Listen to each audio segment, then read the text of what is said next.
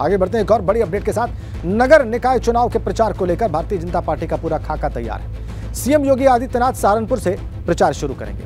24 अप्रैल को सहारनपुर से प्रचार अभियान की शुरुआत करेंगे मुख्यमंत्री योगी आदित्यनाथ। शामली और अमरोहा में भी चुनाव प्रचार का उनका कार्यक्रम।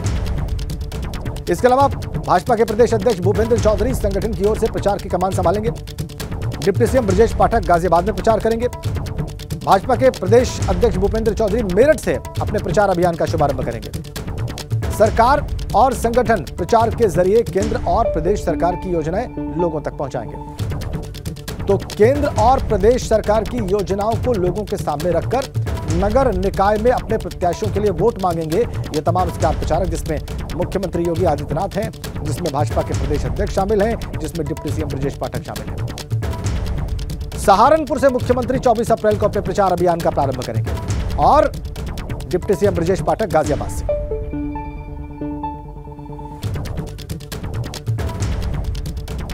और यूपी पीएससी के कार्यक्रम में आज बोले हैं मुख्यमंत्री योगी आदित्यनाथ। उन्होंने कहा कि पहले माफिया की गिरफ्त में जकड़ा हुआ था उत्तर प्रदेश, लेकिन अब यूपी में बदलाव दिख रहा है। यूपी में अब कानून का राज है। आजमगढ़ में अब डर नहीं है। प्रयागराज में अब माघ और कुंभ मेला लग रहे हैं। ये बातें यूपी पीएससी के कार्यक्रम में कही हैं आज सीएम योगी ने।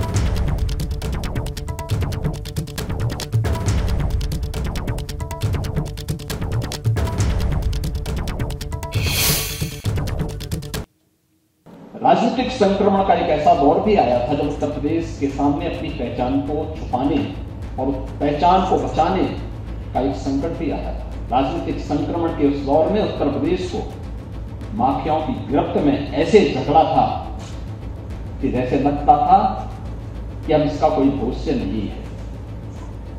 लेकिन नौ दस वर्ष पूर्व, नौ वर्ष पूर्व जब प्रधानमंत्री मोदी जी के नेतृत्व में देश की बात बागडोर आई एक नई आशा और नई आकांक्षाओं के साथ देश ने बदलाव देखा। आजमगढ़ जैसा जनपद जिसके नाम से लोग घबराते थे। नाम सुनकर के ही लोग घबराते थे। आज आजमगढ़ एक्सप्रेस हाईवे से भी जुड़ा है। आजमगढ़ में एयरपोर्ट भी बन रहा है और आजमगढ़ में विश्वविद्यालय भी बना रहा है। स्टेट यूनिवर्सिटी भी वहाँ हमारी बन रही है। आज वहाँ कोई भय नहीं है। कोई किसी भी प्रकार की कोई अराजकता नहीं है। जो पत्रों थे आज पुनः उत्सव में बदल चुके हैं। अयोध्या में दीपोत्सव का कार्यक्रम हो रहा है। काशी में देव दीपावली हो रही है। प्रयागराज फिर से अपने कुंभ और माघ मेले के लिए जाना जा रहा है। वृंदावन रंगोत्सव के लिए जाना जा रहा है।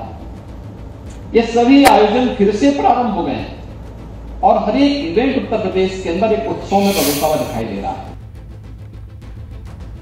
एक तरफ़ मुख्यमंत्री ने आज ये बयान दिया, दूसरी ओर सपा अध्यक्ष अखिलेश यादव ने यूपी सरकार पर बड़ा हमला बोला।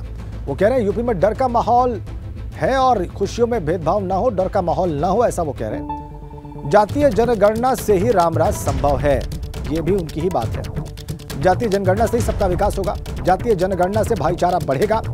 भेदभाव खत्म करने के लिए जातीय जनगणना हो, महँगाई और बेरोजगारी चरम सीमा पर है, ये अखिलेश यादव का बयान। उन्होंने कहा कि किसानों को सुविधा नहीं मिल रही है। गेहूँ खरीद के लिए सरकारी इंतज़ाम नहीं है। गेहूँ खरीदने का इंतज़ाम पूरी तरह से फेल है यह आरोप है अखिलेश यादव के। मैं यही कह सकता हूँ कि डर का माहौल ना हो, खुशियों में भेदभाव ना हो। राम राज्य, समाजवाद तभी संभव है जब जाति जनगणना हो। जाति जनगणना होने के बाद ही सबका साथ, सबका विकास होगा। जाति जनगणना से ही भाईचारा आएगा। ये निकाय चुनाव बहुत महत्वपूर्ण है। ये हमारे शहरों को जो कूड़ा बना दिया है, ये भारतीय जनता पार्टी की देन है। यहाँ पर मेयर लखनऊ देख लें, कानपुर देख लें, इलाहाबाद देख लें, आगरा देख लें, और भी कई शहर हैं जो महत्वपूर्ण शहर उत्तर प्रदेश के हैं। उनको कूड़ा बना दिया अगर किसी ने तो भारतीय जनता पार्टी ने, समाजवादी पार्टी ने सभी टिकट दे दी हैं। ये छोटा चुनाव है, हम कार्यकर्ताओं को निराश नहीं करना चाहते हैं। बड़े चुनाव में हमारा गठबंधन है, छोटे चुनाव में हमने कहा कार्यकर्ताओं को निराश नहीं करेंगे। कि डर का माहौल ना हो, खुशियों में भेदभाव न हो, और जो हमारे सामने बड़ी बड़ी समस्याएँ खड़ी हैं, आज चरम सीमा पर महँगाई है, चरम सीमा पर बेरोज़गारी है, और किसान को जो सुविधा मिलनी चाहिए थी। अभी गेहूँ की फ़सल थी। क्या सरकार ने वो इंतज़ाम किए थे कि किसानों का गेहूँ खरीदा जाए? चलिए अब आगे बढ़ते हैं। इटावा में नायब तहसीलदार की जगह पत्नी ने उनकी समस्याएँ सुनी हैं लोगों की। नायब तहसीलदार की कुर्सी पर बैठकर समस्याएँ सुनने का आरोप है नायब तहसीलदार की पत्नी पर। नायब तहसीलदार संदीप सिंह की पत्नी का वीडियो भी वायरल हो गया है। जमीनी मामलों की सुनवाई करती कैमरे में कैद हो गई है नायब तहसीलदार की पत्नी। अब एसडीएम ने इस मामले की जाँच के लिए कमेटी बना दी और जाँच रिपोर्ट आने के बाद एसडीएम ने कार्रवाई की बात कही। एबीपी गंगा इस वायरल वीडियो की पुष्टि नहीं करता है। लेकिन यह वीडियो वायरल है और ये बताया जा रहा है नायब तहसीलदार की पत्नी का, जिन्हें आप कुर्सी पर बैठा हुआ देख सकते हैं। और आरोप ये लग रहा है कि उन्होंने बैठकर वहाँ पर जमीनी मामलों की सुनवाई की बाबा जी, मैं बात बाबा में आए।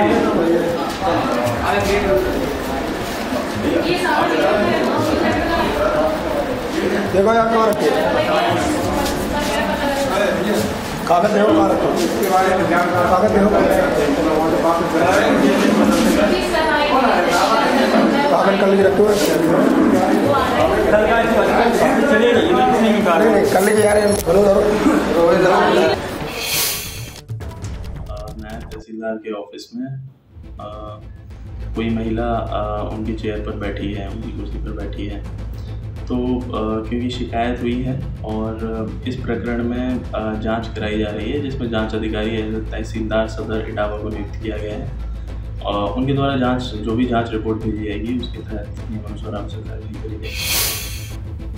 आगे बढ़ते हैं। खबर मेरठ से वहाँ पर अग्निवीर भर्ती के नाम पर ठगी करने वाला फर्जी मेजर गिरफ़्तार कर लिया गया है। आरोपी के पास से सेना की वर्दी कई दस्तावेज़ और फर्जी आई कार्ड भी मिले हैं। अग्निवीर परीक्षा में पास कराने के नाम पर ठगी का आरोप है। हरियाणा के अब्दुल्लापुर, पिंजौर का रहने वाला है आरोप।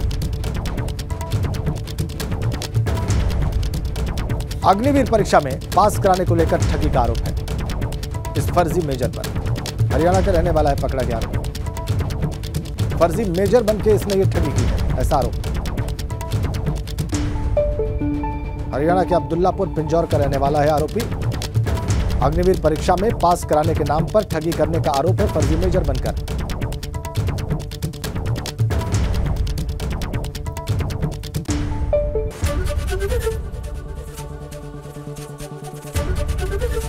एबीपी गंगा, खबर आपकी, जुबा आपकी।